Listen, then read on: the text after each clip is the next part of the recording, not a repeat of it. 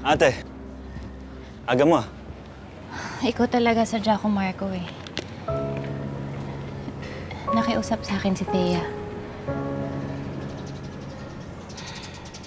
Pati ba naman ikaw ay naabala niya? Mukhang importante yung sabihin niya sa'yo eh. Gusto niya makapag-usap kayo as soon as possible. She's asking for your time kahit sandali lang daw.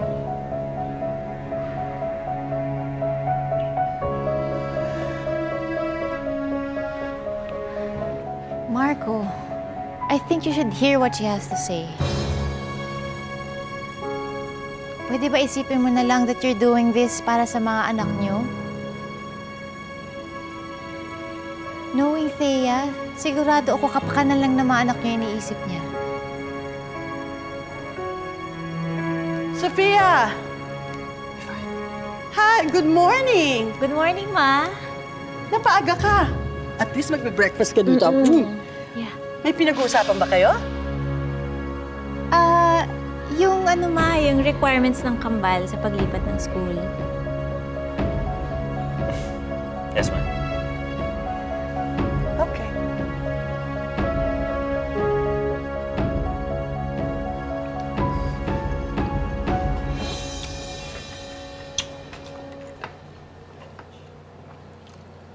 Kaya, parang hindi mapakali.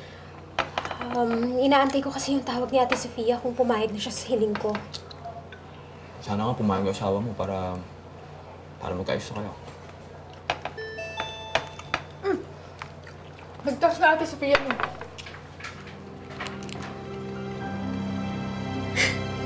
Pumayag na si Marco makipagkita.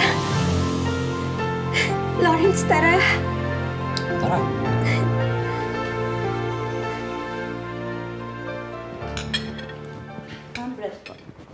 Thank you. Sally, tawagin mo na yung mga bata. Sabihin mo handa ng almusal. Yes, ma'am. So, Sophia, Yes, Ma.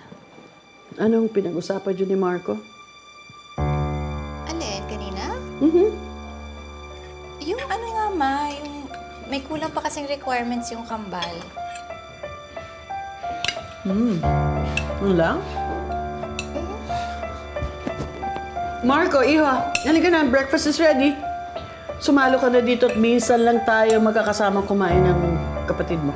Sige na, makain na lang muna ni ate. Kailangan ko na lang po umalis. Oh, saan ka pupunta?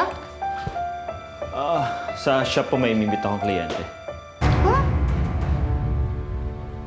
Ay, di ba ang usapan natin kagabi na ngayon natin aasikasuhin yung pagta-transfer ng eskwelahan ng mga bata? Yun ang plano natin. Yeah, um, mapagbalik na lang please, ha? Thank you. Sige. See ya.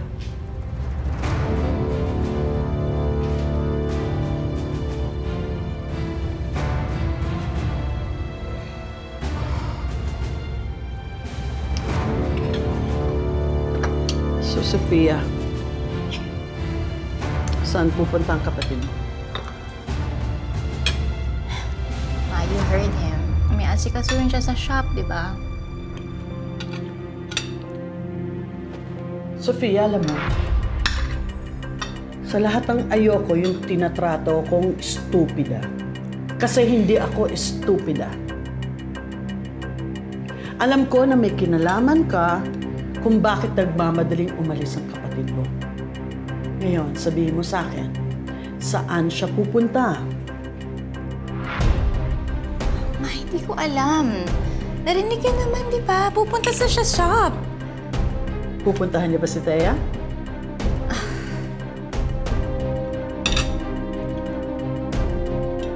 Come on, sabihin mo sa akin, saan pupunta ang kapatid mo? Di ba tayo pwede mag-breakfast lang? Sagutin mo ako ng maayos. Mo kung ganito lagi, ayoko na mag-breakfast. At huwag mo kong tatalikuran habang kinakausap pa kita. Hindi ko nga alam eh. Ma-OA mo na eh. Kung ganyan ka na ganyan, ayoko na pumunta dito. Ayoko na mag-breakfast with you. I don't wanna go here. And pa...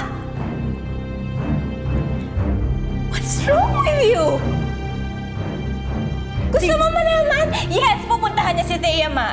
Are you happy now? Does that make you happy? Saan sila pupunta? Saan sila magkikita? Hindi ko alam. Alam mo, saan? Ma, hindi ko alam. Alam mo, sobrang gigil na gigil mo kay Thea. Pati ako na anak mo, sinasaktan mo na. Answer ni Sofia. Saan sila magkikita? Oh, please. Tigilan mo na sila. Let them work things out.